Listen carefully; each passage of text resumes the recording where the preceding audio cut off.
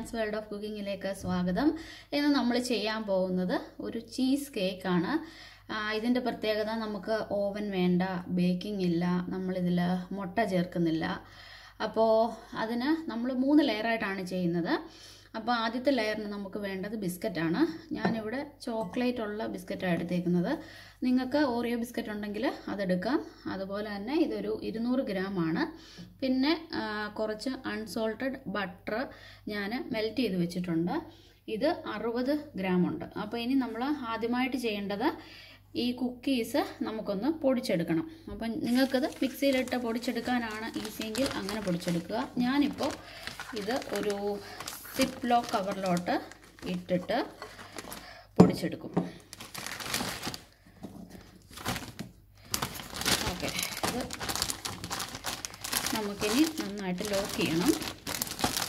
നിങ്ങൾ മിക്സിയിലിട്ടിത് പൊടിച്ചെടുത്താൽ മതി.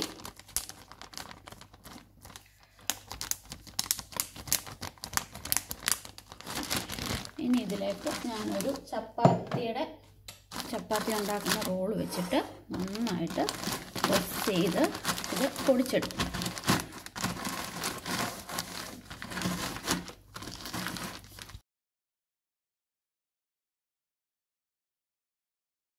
അപ്പം എന്താ ഞാൻ നമ്മുടെ ആ കുക്കീസ് നന്നായിട്ട് പൊടിച്ചെടുത്തിട്ടുണ്ട്.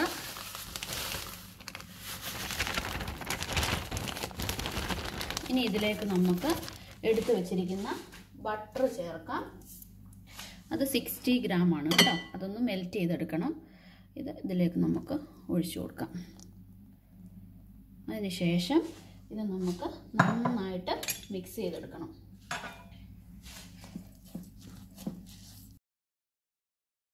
അപ്പം ഞാനിത് നന്നായിട്ട് മിക്സ് ചെയ്തെടുത്തിട്ടുണ്ട്. നിങ്ങൾക്കിത് കൺസിസ്റ്റൻസി കാണാം. ഈ ഒരു കൺസിസ്റ്റൻസിയിൽ ഈ ഇരുന്നൂറ് ഗ്രാം ബിസ്ക്കറ്റിന് സിക്സ്റ്റി ഗ്രാം ബട്ടർ നിങ്ങൾ അങ്ങനെ ചേർത്താൽ മതി. അപ്പോൾ അത് കറക്റ്റ് കൺസിസ്റ്റൻസി ആയിരിക്കും. ഇനി ഇത് നമുക്കൊരു ബേക്കിംഗ് ട്രേയിലോട്ട് മാറ്റാം. അപ്പം ബേക്കിംഗ് ട്രേ ഞാൻ എയ്റ്റ് ഇഞ്ചിന്റെ ബേക്കിംഗ് ട്രേ ആണ് എടുത്തിരിക്കുന്നത്. അതിൽ ഞാൻ നമ്മുടെ പേപ്പർ ഇട്ടിട്ടുണ്ട്. ബേക്കിംഗ് പേപ്പർ അതിന് ശേഷം നമുക്ക് ഇത് ഈ ബിസ്ക്കറ്റ് അതിലോട്ട് നമുക്ക് ട്രാൻസ്ഫർ ചെയ്യാം. അപ്പം എന്തേ നമുക്ക് ഈ ഫുള്ള് ബിസ്ക്കറ്റ് നമുക്ക് അതിലേക്ക് ഇടാം. ഇത് നമ്മുടെ ആദ്യത്തെ ലെയറാണ് കേട്ടോ ഇനി നമുക്ക് ഇത് നന്നായിട്ടൊരു സ്പൂൺ വെച്ചിട്ട്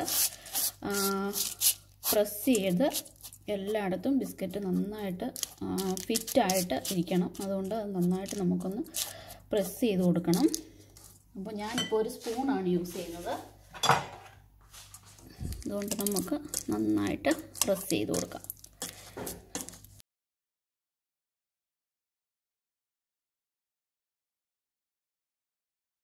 നമ്മുടെ ഫസ്റ്റ് ലെയർ റെഡിയായി ഇത് ഞാനൊരു മുപ്പത് മിനിറ്റ് ഫ്രിഡ്ജിൽ വെക്കാൻ പോവുകയാണ് നമ്മുടെ ഫസ്റ്റ് ലെയർ റെഡി ആകുമ്പോഴത്തേക്കിന് നമുക്ക് അടുത്ത ലെയറിനുള്ള സാധനങ്ങൾ റെഡിയാക്കാം അതിന് വേണ്ടിയിട്ട് ഞാനൊരു ഇരുപത് ഗ്രാം വെള്ളത്തിൽ നാല് ഗ്രാം ജലാറ്റിൻ ഇട്ട് റെഡിയാക്കി വെച്ചിട്ടുണ്ട്. ഇനി ഇത് നമുക്ക് ഇത് ഹോട്ട് വാട്ടറാണ് ഹോട്ട് വാട്ടറിലോട്ട് ഒരു പതിനഞ്ച് മിനിറ്റ് ഇറക്കി വയ്ക്കാം അപ്പോൾ അത് അവിടെ നിന്ന് റെഡി ആവട്ടെ. ആ സമയം കൊണ്ട് നമുക്ക് ക്രീം ചീസ് റെഡിയാക്കാം ഇത് ഒരു ഇരുന്നൂറ്റി ഇരുപത്തഞ്ച് ഗ്രാം ക്രീം ചീസാണ് ഇത് നമുക്ക് നന്നായിട്ട് മിക്സ് ചെയ്ത് സോഫ്റ്റ് ആക്കി എടുക്കണം. അതിലോട്ട് ഞാൻ കുറച്ച് യോഗട്ട് ഇടുവാണ്. ഇനി ഇത് നമുക്ക് നന്നായിട്ട് മിക്സ് ചെയ്യാം. ഇനി അതിലേക്ക് നമുക്ക് കുറച്ച് ഷുഗർ ആഡ് ചെയ്യാം. ഇത് ഒരു തേർട്ടി ഫൈവ് ഗ്രാം പൗഡേർഡ് ഷുഗറാണ് നിങ്ങൾ ഷുഗർ പൊടിച്ചിട്ടാൽ മതി.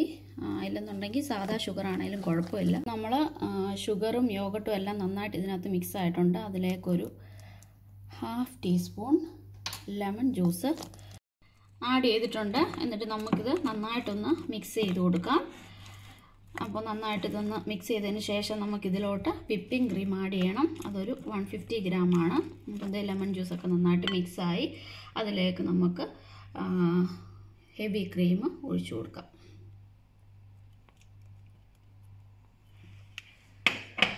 അപ്പോൾ ക്രീം നമുക്ക് നന്നായിട്ട് മിക്സ് ചെയ്തെടുക്കാം. ഇനി ഇതിലേക്ക് നമുക്ക് ജലാറ്റിന് ആഡ് ചെയ്ത് കൊടുക്കാം. അപ്പോൾ എന്താ നമുക്ക് ജലാറ്റിൻ റെഡി ആയിട്ടുണ്ട്.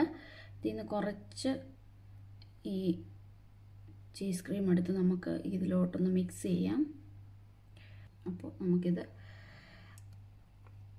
ഈ ക്രീമിലോട്ട് നമുക്ക് ആഡ് ചെയ്ത് കൊടുക്കാം. ഇനി നമുക്ക് നന്നായിട്ടൊന്ന് മിക്സ് ചെയ്തെടുക്കാം.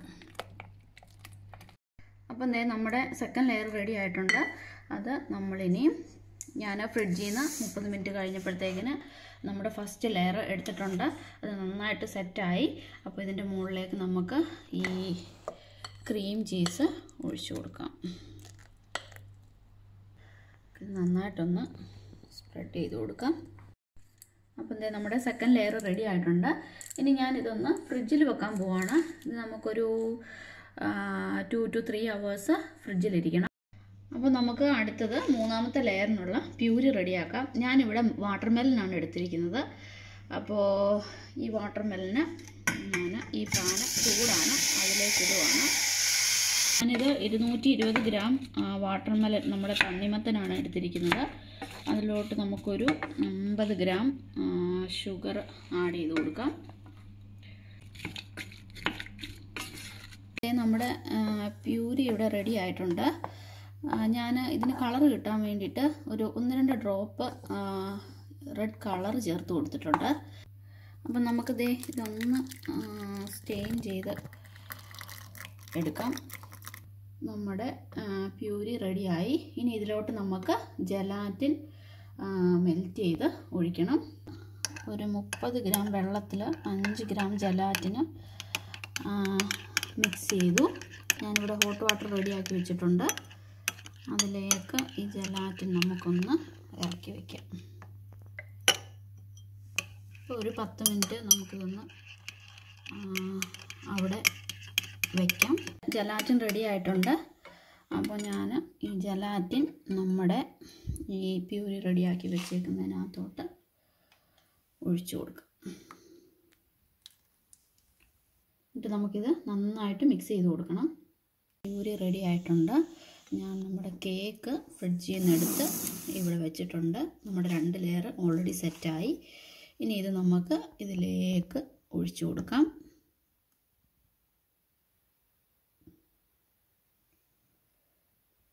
ഫുള്ള് നമുക്ക് ഇതിലേക്ക് ഒഴിച്ചു കൊടുക്കണം. അപ്പം നമ്മുടെ ലാസ്റ്റ് ലെയറാണിത് അപ്പോൾ നമ്മുടെ കേക്കിന്റെ മൂന്നാമത്തെ ലെയറും ഇവിടെ റെഡി ആയിട്ടുണ്ട്. ഇത് നമുക്ക് ഫ്രിഡ്ജിൽ വെക്കണം. ഒരു രാത്രി ഫുള്ള് നമുക്ക് ഫ്രിഡ്ജിൽ വെക്കണം. ഇതൊന്ന് സെറ്റായി വരാനായിട്ട്. രണ്ട് മണിക്കൂർ നമ്മൾ ഫ്രിഡ്ജിൽ വെച്ച കേക്ക് ഞാനിപ്പോൾ പുറത്തെടുത്തിട്ടുണ്ട്. ഇനി നമുക്കിതൊരു പ്ലേറ്റിലോട്ട് മാറ്റാം. അപ്പോൾ ഞാൻ അടിയിലൊരു പാത്രം വെച്ചിട്ടുണ്ട്. എന്നിട്ട് ജസ്റ്റ് താഴേന്ന് ഞാൻ ഇങ്ങനൊന്ന് പ്രസ് ചെയ്ത് കൊടുക്കുവാണ്.